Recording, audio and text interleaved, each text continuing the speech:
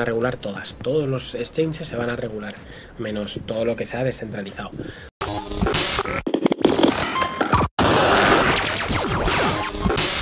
Binance, eh, viviendo en España, eh, supongo que usará Binance, ¿no? Independientemente de las regulaciones, o lo usas desde fuera de España, por así decirlo, de alguna forma legal, o cómo, cómo le hace. Uso Binance igual. Eh, las criptos se van a regular todas. Todos los exchanges se van a regular, menos todo lo que sea descentralizado. Todos van a pasar por el aro. Lo que pasa es que Binance pasa el primero porque es el más grande y el que más repercusión tiene va por el primero que van. Y. Pum. ¿Qué es lo que pasa? Que una cosa es regular, que es lo que no entiende la gente, y otra cosa es meter mano. Claro, eso me refiero, tema impuesto. Aquí, ok, perfecto, te roban, genial, son lamentables, unos hijos de eso, vale, perfecto, ok, a todo, pero es lo que hay. Entonces, una cosa es eso y otra cosa es que cojan y que la gente eh, cree que regular, que es impuestos prácticamente, tiene que ver con meter mano dentro de, de, de, de la monetización de, las cripto, de, coger y decir, oye, pues no, ahora imprimo más Bitcoin. Eso no, va a pasar no, en la vida. Claro, claro, claro que no, claro que no.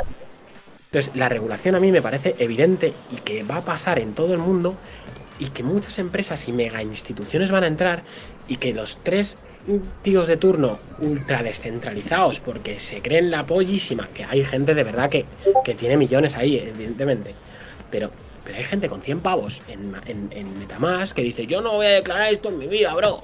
Vale, tío, pues tío, pues ahí con tus 100 pavos en, en Metamask, sé feliz. Pero tú sabes el dinero. Tú tienes que pagar un 20, ok.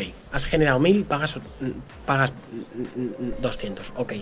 Tú sabes el dinero que va a entrar en cripto cuando todo se regule. Claro. Con todas las empresas e instituciones que van a meter pasta ahí, ¿tú crees que vas a ganar un 20? Vas a ganar un por 20. Mm. Un, un, un, por 20. Sí, que a lo, mejor, a lo mejor no lo sacas hasta que no te vayas de España, ¿no? Por ejemplo. Bueno, ok, pero. Sí, pero es que, aunque no me fuera, es que el dinero que va a entrar en cripto por regularse es surrealista.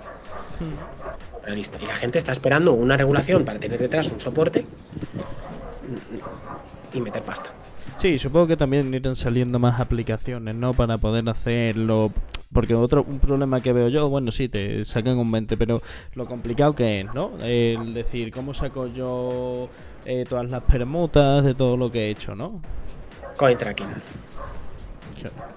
Sí, sí, pero eso, pero pero que también son cosas un poco más específicas, ¿no? Que supongo que se irán sacando cosas más, más amigables al usuario, ¿no?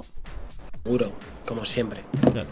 Vale, pues, pues genial, magnífico. Eh,